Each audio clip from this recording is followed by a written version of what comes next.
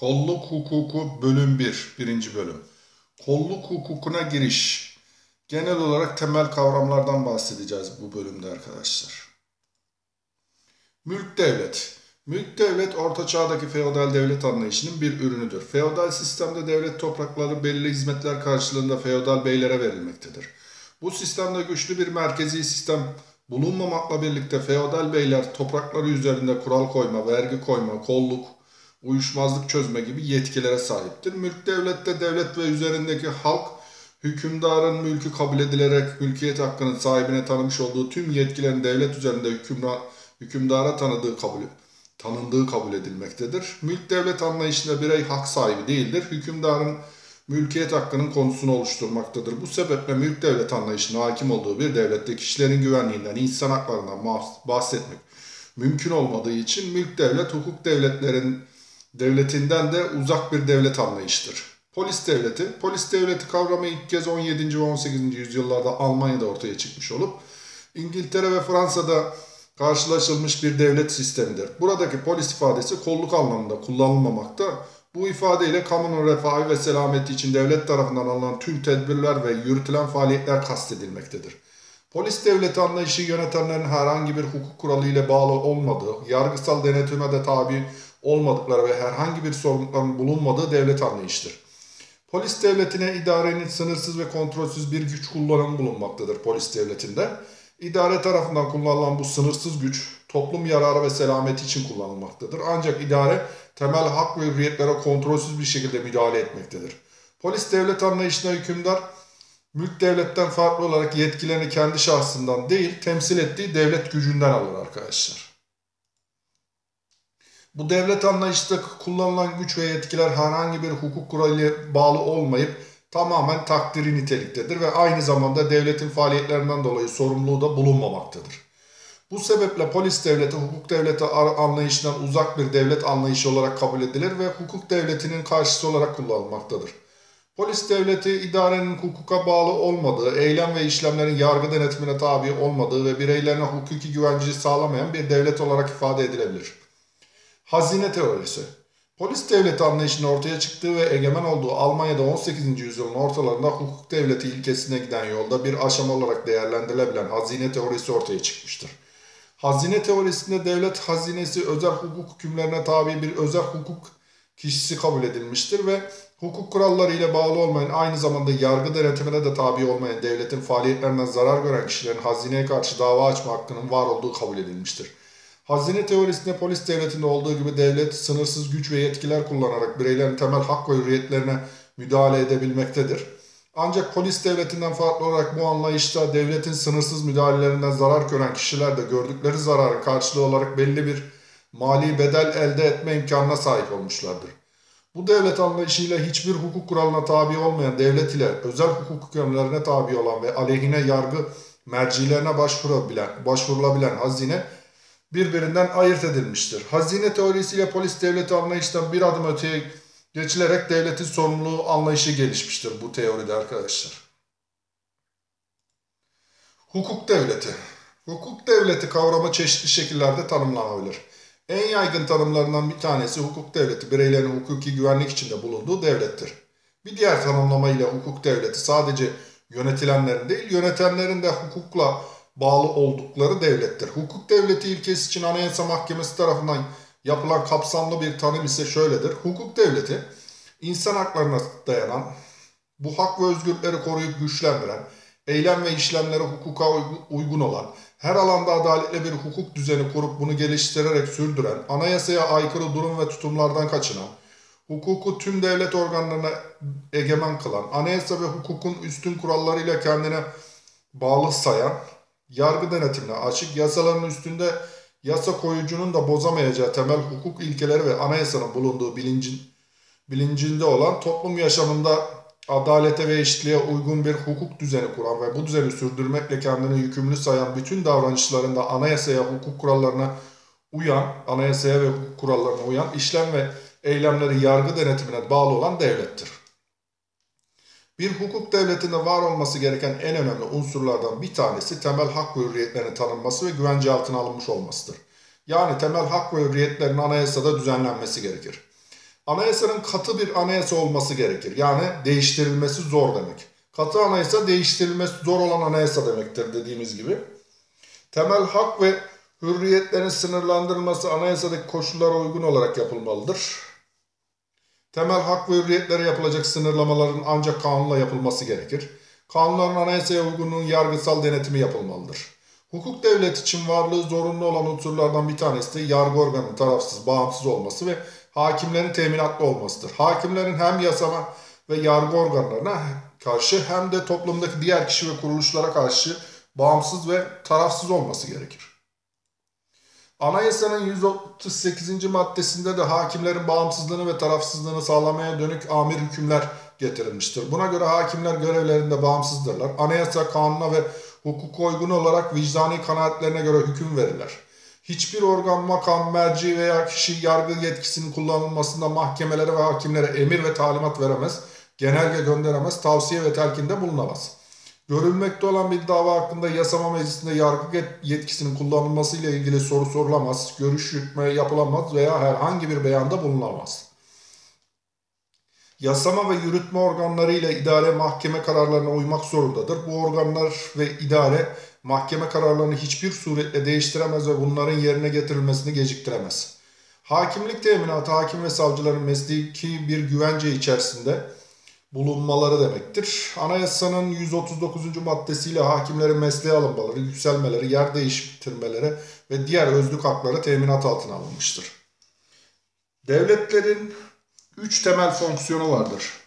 Kanun koyma görevini yerine getiren yasama fonksiyonu, bu kanunların uygulanmasını sağlayan yürütme fonksiyonu ve uyuşmazlıkları çözen yargı fonksiyonu. Yani yasama, yürütme, yargı şeklinde. Kuvvetler ayrılığı bu devlet fonksiyonlarının birbirinden ayrı olmasını gerektirir. 1918 anayas pardon 1982 anayasasında da kuvvetler ayrılığı ilkesi bir anayasal ilke olarak anayasanın başlangıç kısmında yer almıştır. Bu anayasal düzenlemede kuvvetler ayrımının devlet organları arasında üstünlük sıralaması anlamına gelmediği belli devlet yetki ve de görevlerinin kullanılmasından ibaret ve bununla sınırlı medeni bir iş bölümü ve işbirliği olarak ifade edilmiştir. Hukuk devletinde bireylerin hukuki güvenlik içerisinde olması gerekir. Hukuki güvenlik için devlet faaliyetleri birer, bireyler tarafından belli ölçüde önceden tahmin edilebilir olmalıdır. Hukuk devlet için yapılan bireylerin hukuki güvenlik içerisinde bulunduğu devlet hukuk devletidir tanımı bunu ifade eder arkadaşlar. Şimdi ilkelere bakalım hukuk devletindeki kanunsuz suç ve ceza olmaz ilkesi. Ceza ve ceza yerine geçen güvenlik tedbirlerinin ancak kanunla konulabileceği, işlendiği zaman yürürlükte bulunan kanunun suç saymadığı bir fiilden dolayı kimsenin cezalandırılamayacağı ve kimseye işlendiği zaman o suç için kanunda öngörülmüş olan cezadan başka bir ceza verilemeyeceği anlamına gelir. Anayasanın 38. maddesinde de kimse işlendiği zaman yürürlükte bulunan kanunun suç saymadığı bir fiilden dolayı cezalandırılamaz. Kimse suçu işlediği zaman kanunda o suç için konulmuş olan cezadan daha ağır bir ceza verilemez kimseye. Şeklinde bu ilke anayasal bir hüküm haline getirilmiştir. Kanunların geriye yürümezliği ilkesi. Kanunların ancak yürürlüğe girdikleri tarihten sonraki olaylara uygulanabileceği anlamına gelir bu ilke. Bu yönüyle kanunların geriye yürümezliği ilkesi kanunsuz suç ve ceza olmaz ilkesinde tamamlayıcı mahiyette bir ilkedir. Kanunların yürürlüğe girdikleri tarihten önceki olaylar için uygulanması hukuki güvenlik ilkesini ihlal eder. Kanunların geriye yürümemesi hukukun genel ilkelerinden bir tanesidir. Kanunların geriye yürümezliği ilkesinin önemli bir istisnası ise kişisel, kişiler bakımından lehe ceza kanunlarının geçmişe uygulanmasıdır. Yani buradaki bir kişi yararı söz konusuysa kanun gereği yürütülebilir arkadaşlar. Ya da kamu yararı söz konusuysa.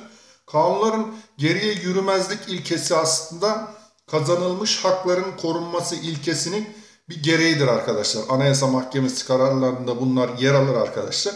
Dolayısıyla bir kanun, yönetmelik, genelge çıkarıldığı tarih ve sonraki olaylara uygulanabilir. Geçmişe yürütülemez arkadaşlar. Yani 1900 atıyorum 99 yılında çıkartılan bir tane yasa düşünelim. Bir tane de kazanılmış hak düşünelim. 1980'den beri şey devam eden bir hak düşünelim. Kazanılmış hak mesela. Bu kanun 80 yılına geriye yürütülemez. Fakat kişinin yararı söz konusuysa hakim bunu yürütebilir. Fakat şeylerde yani kişi yararı söz konusu değilse yani kişinin aleyhine bir durum söz konusuysa kanunu geriye yürütemezsiniz arkadaşlar.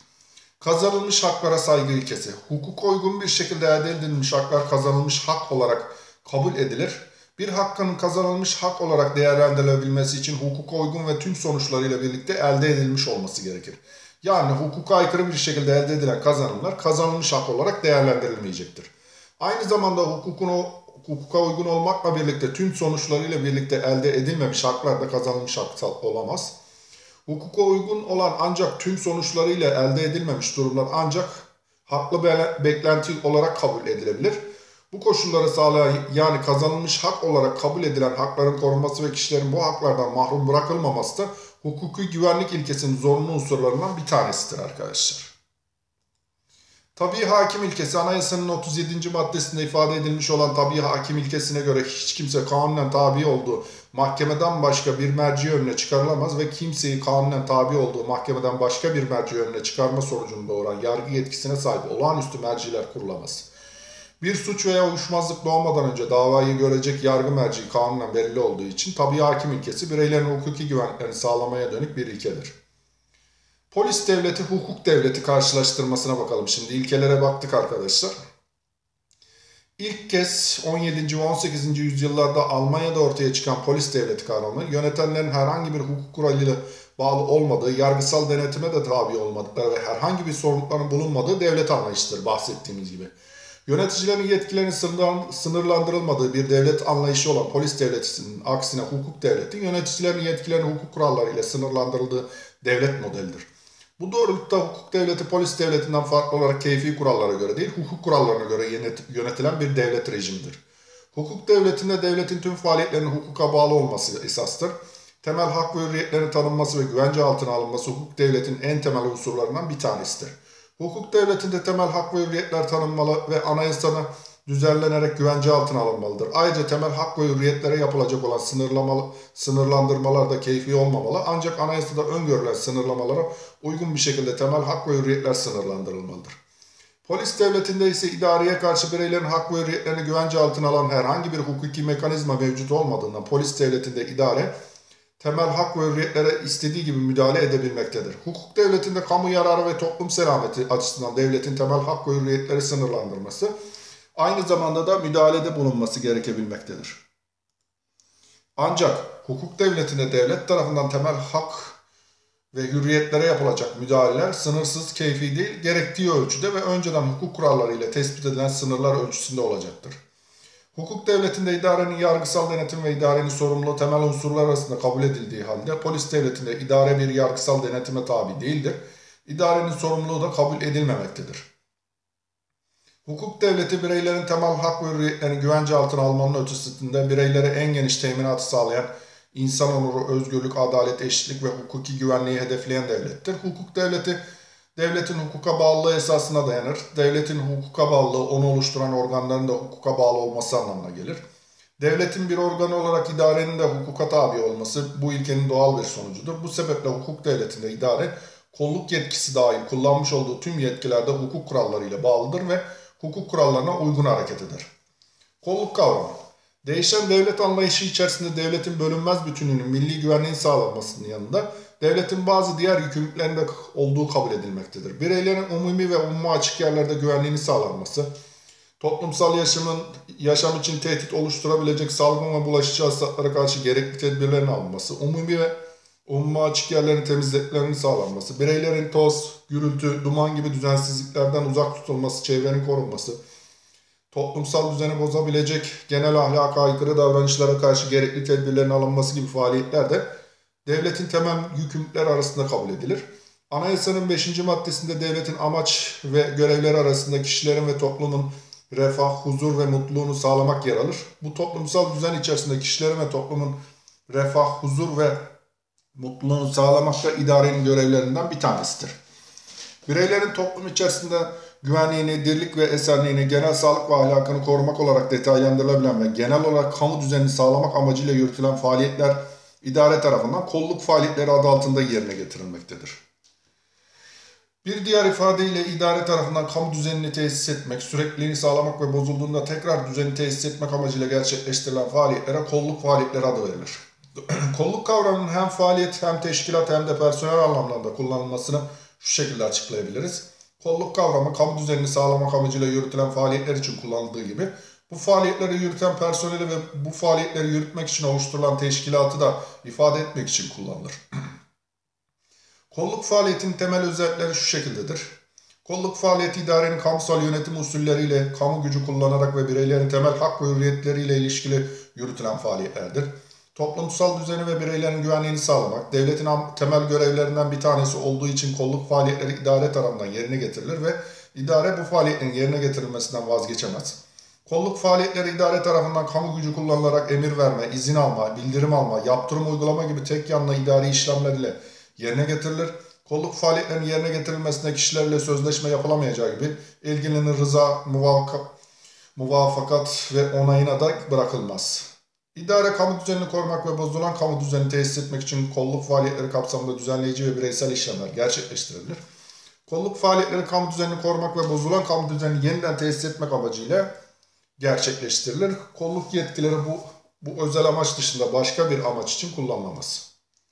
Şimdi tarihsel geçmişe bakalım. Osmanlı döneminde kolluk. Osmanlı İmparatorluğu'nda kolluk teşkilatı askeri teşkilat kadrosu içerisinde yer almıştır. Osman Gazi tarafından Osmanlı İmparatorluğu'nun kurulması, kurulmasıyla beraber huzur ve güveni sağlamak için zabıta ve inzibat teşkilatı olarak kadılık ve subaşı denilen kolluk amirlikleri kurulmuştur.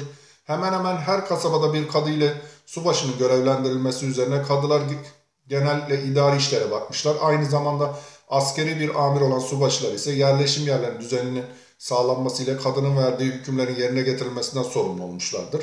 Hem mülki hem askeri en üst amir olan padişah bu işlerini sadrazamları vasıtasıyla yürütmüştür. Bu sebeple sadrazamlar bütün kolluk teşkilatında en yüksek amiri kabul edilirler. İstanbul'un fethiyle beraber güvenlik hizmetleri Yeniçerilere verilmiş ve subaşıların yerine Yeniçerilerin en üst amiri olan Yeniçeri ağası almış ve Yeniçeri ağaları sadrazamdan sonraki en büyük kolluk amiri durumuna gelmişlerdir. Yeniçeri ağası ve Yeniçeri ağası aynı zamanda Divan-ı Humayun üyesidir. Yeniçeri Ocağı'nda isyanların başlaması ve Yeniçerilerin görevine görevlerini yerine getiremez hale gelmeleri neticesinde 1826 yılında Yeniçeri Ocağı 2. Mahmut tarafından kaldırılmıştır.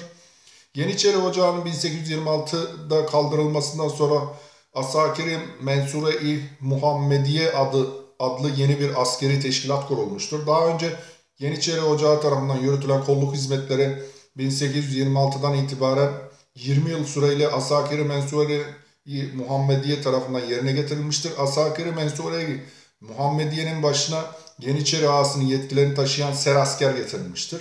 Bu dönemde ser askerlerinin altında başkentte ve taşrada kolluk hizmetlerini yürüten farklı kuruluşlar kurulmuştur. Ardından 1845'te İstanbul'da ilk polis teşkilatı kurulmuştur. Ülkemizde polis kelimesi resmi olarak ilk defa 1845 tarihli polis nizamnamesinde kullanılmıştır. Yani polis kanunundan bahsediyoruz. Bu nizamname ile polis teşkilatı kurulmuş ve kolluk hizmetleri bu kuruma verilmiştir. 1846'da zaptiye müşirliği kurulmuştur. Hem Taşra'da hem de İstanbul'da yürütülen kolluk hizmetleri tek elde toplanmış. Zaptiye yani jandarma ve polis adı altında iki teşkilat kurularak zaptiye müşirliğinin emrine verilmiştir. Böylece kolluk teşkilatının tek elden sevk ve idaresinin yürütülmesi sağlanmıştır. 1879 yılında kolluk hizmetleri yeniden düzenlenerek zaptiye müşirliği yerine zaptiye nezareti kurulmuştur. İstanbul'un emniyetinden nezaret sorumlusu tutulmuş, nezaret sorumlu tutulmuş Diğer illerde ise sera askerliğe bağlı birimler tarafından kolluk hizmetleri yerine getirilmiştir. Ardından zaptiye nezareti tüm ülkede teşkilatlanmaya başlanmış. 1894'te 15 ilde polis teşkilatı kurulmuştur. 1907 tarihinde ilk polis nizamnamesi çıkarılmıştır. Bu nizamnamede polisin merkez ve taşra kuruluşları görev ve yetkileri hüküm altına alınmıştır. Zaptiye nezareti 1909 yılında kaldırılmıştır. Kadıların kaldırılan zaptiye nezaretin yerine 22 Temmuz 1909 tarihli İstanbul Vilayeti ve Emniyeti Umumiye Müdüriyeti Teşkilatı'na dair kanunla Emniyet Umumiye Müdürlüğü kurulmuştur. 9 Aralık 1913 tarihinde çıkarılan Dahiliye Nezareti Teşkilat nizamnamesiyle Emniyet Umumiye Müdüriyeti Dahiliye Nezaretine bağlı olarak görev yapan bir teşkilat haline gelmiştir. İkinci meşrutiyetin ilanından Cumhuriyet dönemine kadar geçen zaman içinde kolluk hizmetleri Umum Jandarma Komutanlığı, Emniyet Umumiye Müdüriyeti ve İstanbul Polis Müdüriyeti tarafından yürütülmüştür. Jandarma 16 Mart 1919 tarihinde İçişleri Bakanlığı'na bağlanmıştır. Cumhuriyet döneminde kolluk 1930 yılında jandarmanın görev ve sorumluluklarını düzenleyen 1706 sayılı jandarma kanunu yürürlüğe konulmuştur. Bu kanunun uygulanmasını göstermek üzere 25 Aralık 1937 tarihinde jandarma tüzüğü kabul edilmiştir. 1706 sayılı jandarma kanunu 50 yıldan fazla yürürlükte kaldıktan sonra 10 Mart 1983 tarihinde 2803 sayılı jandarma teşkilat görev ve yetkileri hakkında kanun ile yürürlükten kaldırılmıştır önceki kanun. Bu kanun gelmiş 1983'te. Cumhuriyet döneminde polis teşkilatında da yenilikler yapılmıştır. 24 Haziran 1920 tarihinde Ankara'daki Milli Hükümet tarafından Emniyet Umumiye Müdürlüğü kurulmuştur. Böylece aynı anda biri Ankara'dan biri İstanbul'da olmak üzere iki Emniyeti Umumiye Müdürlüğü faaliyete bulunmuştur. İstanbul'daki Emniyeti Umumiye Müdürlüğü 1922'de kaldırılmıştır. 1923 tarihinde ise İstanbul Polis Müdüriyeti Umumiyesi kaldırılarak yerine Ankara'daki Emniyeti Umumiye Müdürlüğü'ne bağlı il teşkilatı düzeyinde İstanbul Polis Müdürlüğü kurulmuştur. 19 Mayıs 1930 tarihinde yürürlüğe giren Dahiliye Vekaleti Merkez Teşkilatı ve vazifeleri hakkında kanunla Emniyet Teşkilatı'nın yapılanması yapılmıştır. 1932 yılında ise polis teşkilatının kadro ve derecelerine atama, yükselme, mesleğe girme, cezalandırma gibi hususları düzenleyen 2049 sayılı polis teşkilatı kanunu çıkarılmıştır. 4 Temmuz 1934 tarihinde polisin görev ve yetkilerini düzenleyen 2559 sayılı Polis Vazife ve Salahiyet Kanunu yürürlüğe girmiştir. Halen bu kanun yürürlüktedir. Ayrıca daha önceki yıllarda çıkarılmış olan teşkilat kanunları ihtiyaçlara cevap vermekte yetersiz kaldığından dolayı 4 Haziran 1937 tarihinde 3201 sayılı Emniyet Teşkilatı Kanunu'na yürürlüğe konulmuştur. Cumhuriyet döneminde polis teşkilatı konusunda ana düzenleme 4 Haziran 1937 tarihli ve 3201 sayılı Emniyet Teşkilatı Kanunu ile yapılmıştır diyebiliriz. Kolluk hizmetleri. İdare tarafından yürütülen kolluk faaliyetlerinin bir kamu düzen hizmeti olup olmadığı tartışılan bir konudur. Bir görüş kolluğunda bir kamu hizmeti olduğunu ancak diğer kamu hizmetlerinden bazı farklara sahip olduğunu kabul eder. bir diğer ifadeyle bu görüşe göre kolluk kendisine kendine has öz, bazı özellikleri olan bir kamu hizmettir. Diğer bir görüş ise kolluğun bir kamu hizmeti olmadığını, idare tarafından yürütülen kamu hizmeti dışında bir faaliyet olduğunu kabul eder. Bu görüşe göre idare hem kamu hizmetlerini ve kolluk faaliyetlerini yürütmektedir. Kamu hizmeti ile kolluk arasındaki farkları ise şu şekilde sıralayabiliriz. Kamu hizmetlerinin görülmesi idarenin denetim ve gözetimi altında özel kişilere devredilebilirken kolluk faaliyetlerinin yürütülmesinin tamamen özel kişilere devri mümkün değildir arkadaşlar. Kolluk hizmetleri devletin tekelindedir diyebiliriz. Genel kolluk olsun, özel kolluk olsun bunlar devlet tekelinde yürütülen hizmetlerdir. Çünkü kolluk faaliyetleri kamu gücü kullanılmasını gerektirir ve asıl olarak kamu gücü kullanılabilecek olan da idaredir.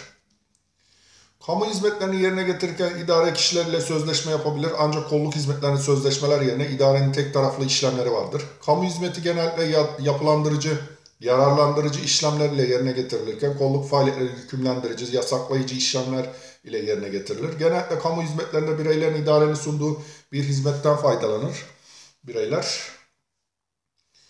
Sağlık hizmeti, eğitim hizmeti gibi. Ancak kolluk faaliyetleri esnasında bireyler genellikle bir yasaklama, engelleme, yaptırım ile karşılaşırlar.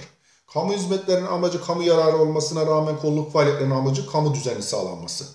Kamu hizmetiyle kolluk faaliyetleri arasındaki tüm bu farklara rağmen kolluk faaliyetlerinin daha özel bir amaca sahip ve yürütülmesi özel usullere tabi bir kamu hizmeti faaliyeti olarak kabul etmek daha yerinde olacaktır. Kolluk kamu düzenini sağlamaya yönelik bir kamu hizmeti faaliyetidir. Kolluk faaliyetlerinin amacı kamu düzeninin korunması ve bozulması halinde yeniden kamu düzeni sağlanmasıdır. Kolluk faaliyetlerinin yerine getirilmesinde idareye tanınan kamu gücü kullanma yetkisi ancak bu amaçla yani kamu düzeni sağlanması amacıyla kullanılabilir. Bir diğer ifadeyle kolluk faaliyetlerini yürütebilmesi için idareye tanınmış olan kamu gücü ancak kamu düzeninin korunması, kamu düzeninin korunması amacıyla kullanıldığında meşru kabul edilir. İdare kamu düzenini sağlamak amacıyla yerine getirmiş olduğu kolluk faaliyetleri esnasında bireylerin temel hak ve hürriyetlerine müdahale niteliğinde bu hak ve hürriyetleri sınırlandırıcı eylem ve işlemlerde bulunabilir. Ancak bu temel hak ve hürriyetlere yapılacak olan sınırlandırmaların keyfi değil, durumun gerektirdiği ölçüde kolluk hukuk kurallarına uygun bir şekilde olması gerekir. Bu anlamda kamu düzeni hem kolluk otoritelerinin müdahale sınırlarını, müdahale alanını sınırlar hem de kamu düzenine yönelik karışıklık, kargaşa ve tehlikeler kolluk faaliyetlerinin gerekçesini oluşturur.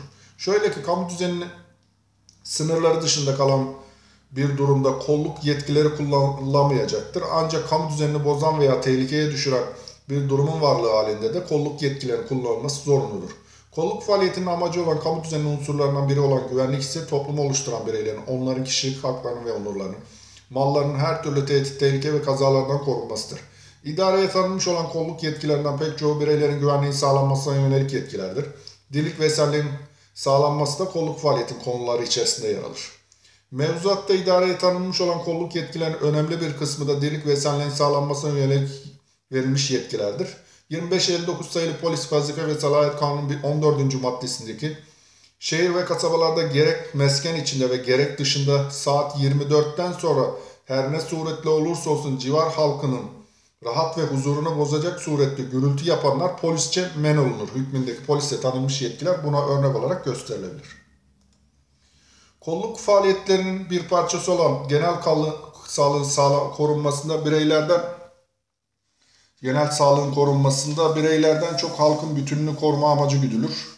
Kolluk faaliyetlerinin konusu olan genel sağlığın korunması tek tek bireylerin sağlıklı olması anlamına gelmez. İdare tarafından gerçekleştirilen aşı uygulamaları her türlü gıda maddelerinin denetim gibi faaliyetler ihtiyaç halinde kişiler veya hayvanlar ve benzeri hakkında gerçekleştirilecek karantina uygulaması genel sağlığın korunmasına yönelik kolluk faaliyetlerindendir. 2559 sayılı Polis Vazife ve Salayet Kanunu 8B maddesine göre mevzuata aykırı bir şekilde uyuşturucu madde imal eden, daha sonra satılan, kullanılan, bulundurulan yerler kapatılacaktır. Emniyet birimlerine verilmiş olan bu yetkide genel sağlığın korunması amacına hizmet eder. Kolluk faaliyetlerinin konusunu bireylerin dışa yansıyan ve genel olarak toplumun ahlak toplumun ahlak anlayışına aykırı olan davranışları oluşturur. Dolayısıyla her ahlaka aykırı davranış kamu düzeninin konusunu oluşturmaz. Mevzuatımızda genel ahlak sebebiyle alınacak pek çok tedbire ilişkin düzenleme yer almaktadır. Örneğin polis ve vazife ve salayet kanunun 11. maddesine göre genel ahlak ve edep kurallarına aykırı olarak utanç verici toplum düzeni bakımından tasvip edilmeyen tavır ve davranışta bulunanlar ile bu nitelikle söz, şarkı, müzik veya benzeri gösteri yapanlar, genel ahlak ve edebi aykırı nitelikte her türlü sesli ve gürültü eserleri üreten ve satanlar herhangi bir müracaat ya da şikayet olmasa bile polis tarafından engellenir ve davranışların devamı durdurularak yasaklanır. Aynı kanun 8. maddesine göre mevzuata aykırı faaliyet gösteren genel evler, fuhuş yapılan evler ve yerler devletin bölünmez bütünlüğüne, anayasal düzenine, genel güvenliğe ve genel ahlaka zararı dokunacak oyun oynatılan, temsil verilen, film ya da video bank gösterilen yerlerle internet üzerinden yapılan yayınlara izin verilen yerler mahallenin en büyük mülki amiri tarafından faaliyetten men edilir. Görüldüğü üzere bu maddelerde genel ahlakın ve edebin korunması kolluk personeli tarafından alınacak tedbirlerin amacı olarak düzenlenmiştir. Evet arkadaşlar bölüm bu kadar. Teşekkürler.